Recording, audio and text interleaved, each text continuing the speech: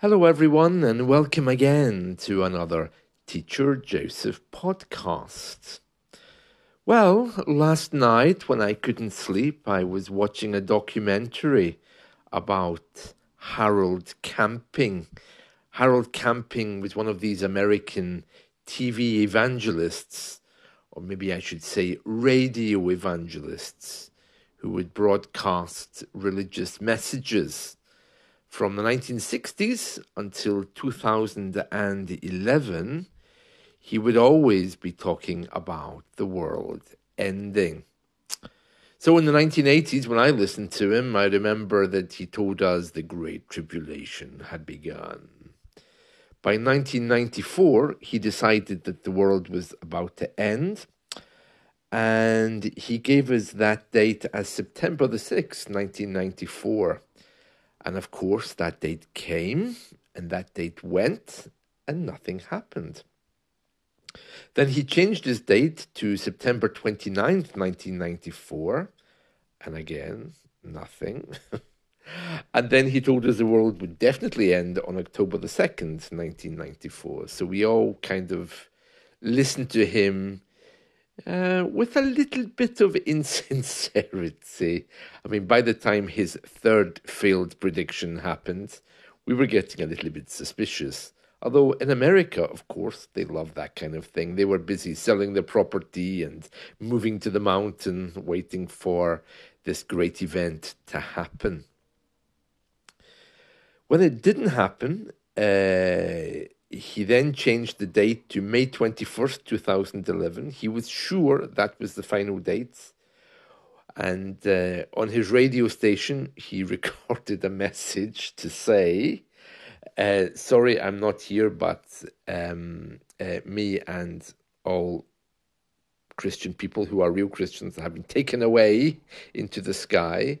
But please continue to listen to this radio station for further updates.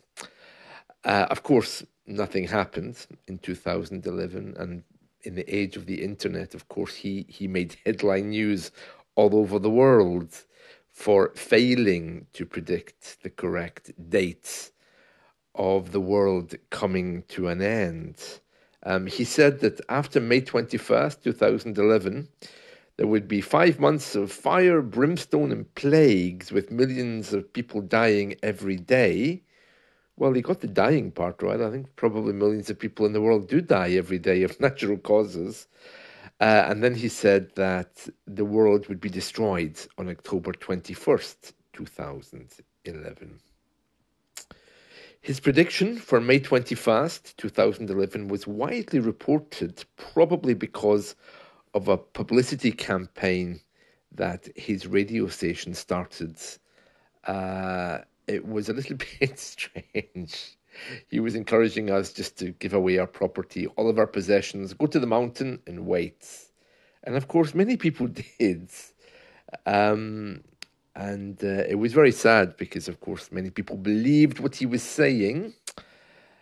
Um, and then he apologized and said how sorry he was. And he, I think, died uh, um, a few years later but very sad the things we did before the internet came.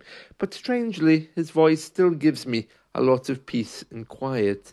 Isn't that strange? How a voice predicting doom and disaster for the coming years can make us fall asleep. Yeah. Anyway, um, that's the story of Harold Camping. His name is spelled camping, just like the camping trip, you know, to go into a tent uh, into the wilderness. Um, uh, he was actually born in 1921 in Colorado, then moved to California. Uh, his parents were Dutch immigrants. Yeah, you see, this is the problem. Once you start kind of uh, talking about hatred and bad things, this is what happens. You get it all wrong and you end up as a Teacher Joseph podcast. Strange, isn't it? But he had a whole radio uh, campaign and he kept buying over radio stations to broadcast his stuff. I remember him doing a program called The Open Forum You can probably still find that on YouTube if you're interested. Uh, he wasn't a particularly good speaker, but I tell you this, he knew exactly where to find stuff in his Bible. You know, it was like one of these call-in shows. So you'd call him up and ask him a question. He knew what he was talking about, even if he wasn't particularly astute in other ways. Yeah.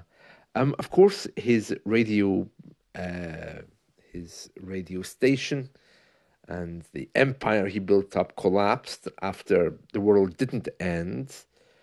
Um, but uh, as far as I know, uh, his radio station, Family Radio, reformed. It is still around, but it doesn't ever mention him or broadcast anything by him.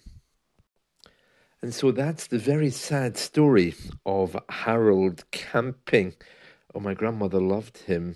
Yeah.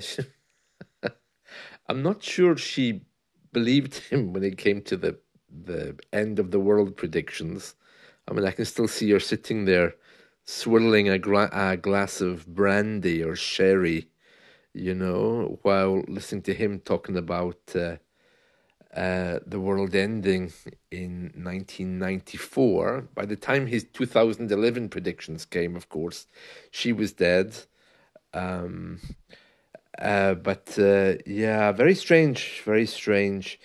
I think this is a kind of leftover from the days before the internet, isn't it? You know, because before the internet, people were more open to believing such things. But uh, he was very astute with his uh, with his literature and his study of uh, Christian books, especially the Bible. But he he just clearly didn't know what day of the week it was. I think.